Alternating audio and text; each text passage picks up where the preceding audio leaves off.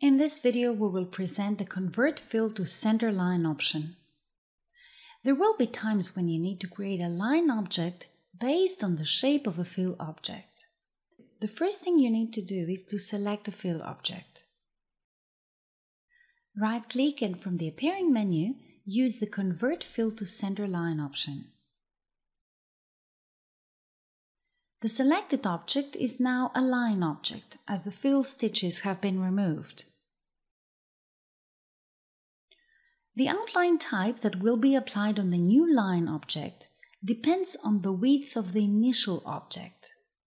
If the width of the initial object is more than 1 mm, then satin serial will be applied.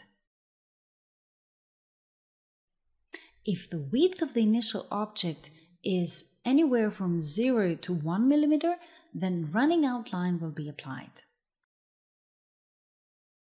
Likewise, you can apply to text objects and create small text objects with running stitch.